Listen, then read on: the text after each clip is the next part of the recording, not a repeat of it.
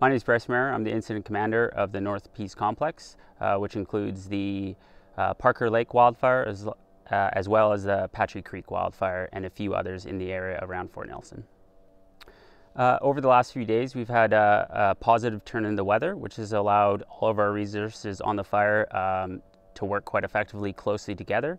Uh, that includes crews, heavy equipment, and helicopters, and we're starting to make progress uh, along the fire's edge close to town. Because of the longer term drought in the area, uh, we found and the crews have found that uh, the, fire, the fires burn quite deep, uh, which makes uh, the trees unstable, and there are certain areas uh, in, uh, around the wildfire that the crews are finding it very difficult and challenging to work in. my name is Callum Richardson, Thunder Delta 1.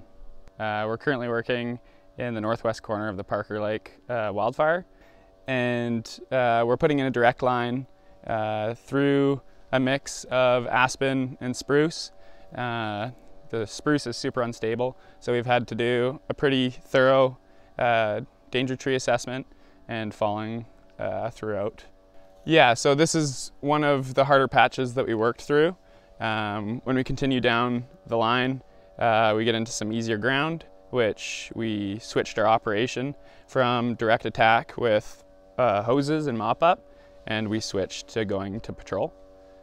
Uh, so currently on this line, we've been working two and a half days and we're hoping to have this line buttoned up by the end of the day here and moving on to a new section of ground. Over the next few days, we expect to see similar weather conditions uh, as we have been having.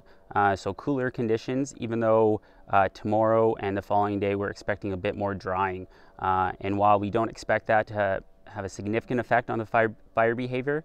Uh, it does give us a chance to understand where there are potentially more areas of heat and focus our resources there.